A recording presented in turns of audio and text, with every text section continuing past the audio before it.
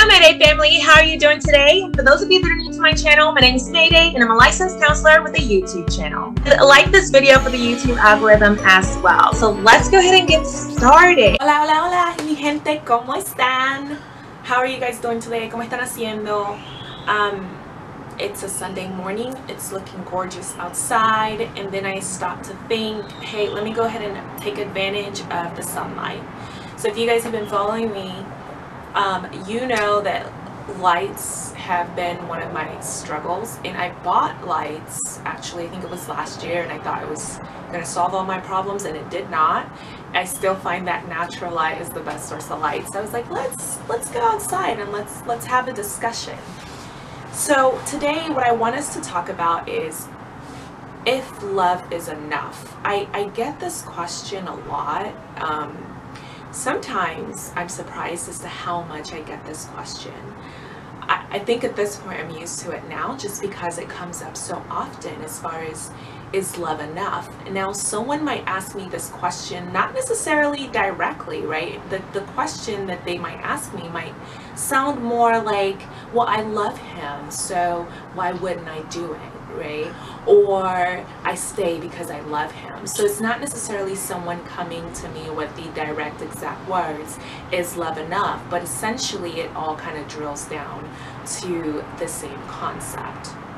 So I just feel like it's a really good time to address that now. And especially with everything that's going on due to the COVID, it has really exasperated people's relationships, how they view those things, and you know, certain people when they're forced now that they've been forced to spend more time with their significant other you know these questions that maybe weren't there before are now arising. So i feel like just just tackling that that question um, would be a really good topic for today. So is love enough?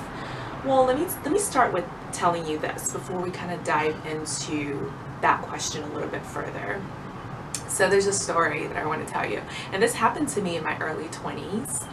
And it, it was just, it, it was kind of crazy. So I was dating this guy, you know, and everything was going, at least from my perspective, I felt like everything was going great. Everything's going well. Awesome.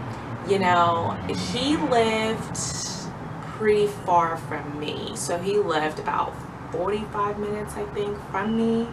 So really, really far. Um, and that presented a challenge in our relationship, right? Because it's different if you just live five minutes away versus if you just if you live 45 minutes away maybe how often you might get to engage and see each other it might make it a little bit more challenging well in our case it did make it challenging and, and it was just something that was a that just kind of came with with being in a relationship and talking to each other. So from my perspective we were kind of going well you know we, we would still see each other. Um, he would come see me we would plan things together and so I felt like oh this is great. This is going really well well, one day we made plans to go to a basketball game, I believe it was. And so we're going to go to a basketball game.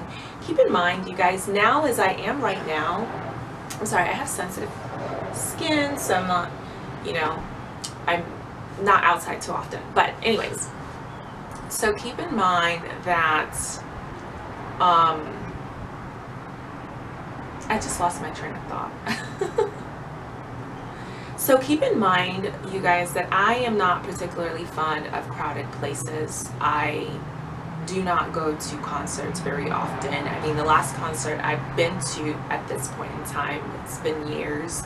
I don't, um, you know, like the fair, when the fair is in, I don't really find it fun to go to the fair, you know, so things like that. But back then I was, you know, in my early 20s, and so it was fine. Like, I, I still think that they can be fun events to go to. So we're planning to go to um, a basketball game, to, to watch the basketball game, and then get some food afterwards. And, like, he had bought the tickets and showed me online that he had bought the tickets and, like, the times and sent it over. And so it was like, great. So the day of the basketball game rolls around. And so I get ready during the day. I'm waiting for him to arrive. I'm texting him like, hey, are you on your way? He's texting me back like, yeah, I'm on my way. And so he gets there. He, he gets to, to my place to um, to pick me up. But then when he gets to my place, he, he comes in, sits down, and I'm like, so are we leaving? You know, do you want to leave now? What, what time was it supposed to start? And so he starts showing me like screenshots that said that they had changed the time or something. Because keep in mind, I don't have a copy of the ticket. It, it was just him kind of like fast showing me things and, and telling me like this is what time we have to get ready.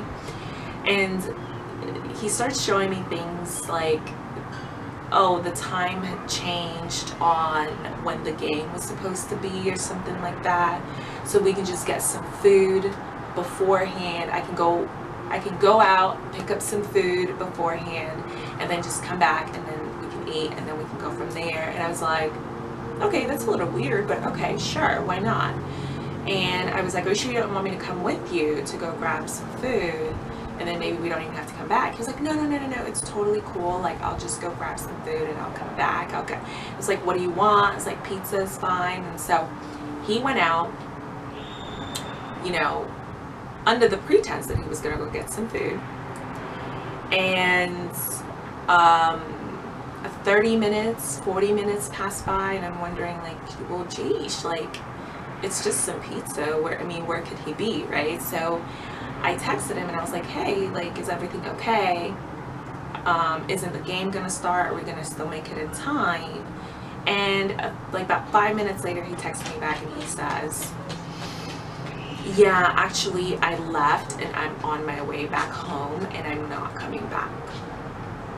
So you can imagine my kind of like terror and just horrified I was, I was, I was horrified. I didn't know what to think. I didn't know what to say. We had never really argued, right? We know, I mean, we're still early on in the relationship. So I didn't know what to make of that. And I was like, what do you mean? Like, what's, what do you mean you're not coming back? What's going on? And so he sent me another text and he was like, I'm always the you know, I'm always the one having to drive to you. You never offer to come see me or drive to me, so I'm just not coming back. So I was obviously distraught over that, right? So I, I, bring that story to you because I want you to think about this for a second and tell me what you think. Who do you feel like was in the wrong in that situation? Was it me for never offering to do the driving or do some driving or go see him? Was it him? What do you think, right? So as the years have gone by, I have kind of come up with my thought process on that, right? And this kind of ties back to the question that we're looking at today, is love enough? Well, I think from where I am right now and from the knowledge I've gathered over the years, the answer to that question, honestly, it's, a, it's quite simple. No, um, love is not enough. So let's dive into what that means a little bit more. Okay, so in that example that I just gave you, both parties were probably at fault, right? But if we look at it and we want to say like, okay, who is more at fault? He was probably more at fault, right? Because there was no communication beforehand as to if there was an issue, what the issue was. Um, and apparently this was obviously something that was on his mind, right? Always thinking about this and probably something that translated to well, she never thinks about me or she's not considerate of me. And this was one of the examples, right? And so that's an issue, don't get me wrong. So that's something that you want to look out, be on the lookout for. But if you never communicate that to the other person, then whose fault does it really become, right? So all of that to say that when it comes to love, love is great to have and necessary to have if you're going to be in a romantic relationship with someone. Um, it can be necessary to have, I'll say it like that. Um, but it's also equally as important to have other skills and traits. So first of all, you have to be with someone that's ready to be in a relationship.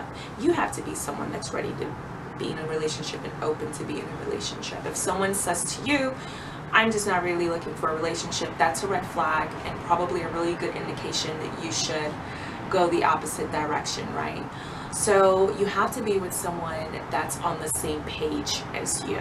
Like that you both can be on the same page or you both are able to get on the same page, right? And that's a skill set that is in a lot of ways more important than love because love cannot stand the test of time without you both being able to be on the same page or get on the same page if you're not already on the same page, right? So love is not enough. Love is almost basically just like a first step. A lot of people see love as like the final goal and destination versus what they should be seeing, which is love as literally just the first step. It, it, literally, it's just the first step because there's all these things that have to come afterwards for it to actually work.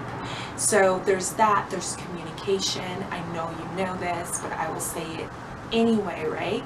Communication is fundamental to any relationship. So if we're not able to communicate to each other, if our communication styles don't match, if I'm saying something about something that hurts my feelings, but then you try to dismiss that or undervalue that. That's an issue, right? And that's those are communication then ends up being an issue that's even more important than love. So you could love someone, but if you're not able to be on the same page or get on the same page, or you're not able to communicate with each other, then love isn't enough.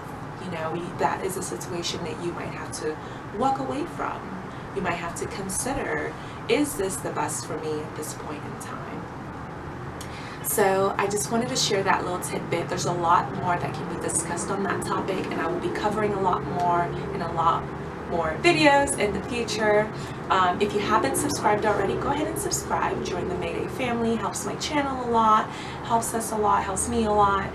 Um, if you like the content, of course and also go ahead and give a thumbs up to this video if you found it any tad bit um, helpful and leave a comment below on what you think I want to hear what your thoughts are what your questions may be when it comes to this particular topic and I will see you guys in the next one bye bye